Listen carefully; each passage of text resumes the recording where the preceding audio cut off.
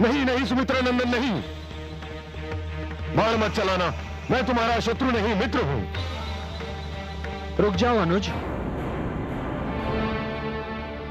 भ्राताश्री ये किसी राक्षस की माया भी हो सकती है। किंतु सत्य जाने बिना प्रतिकार करना अनुचित है अनुज।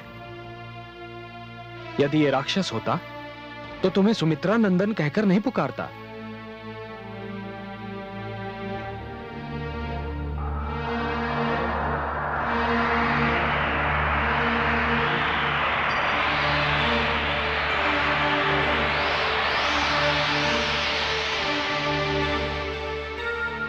कौन है आप?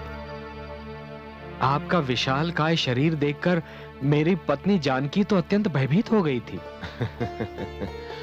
मुझसे भयभीत होने की कोई आवश्यकता नहीं है। मैं आपके पिता श्री महाराज दशरथ का मित्र हूँ।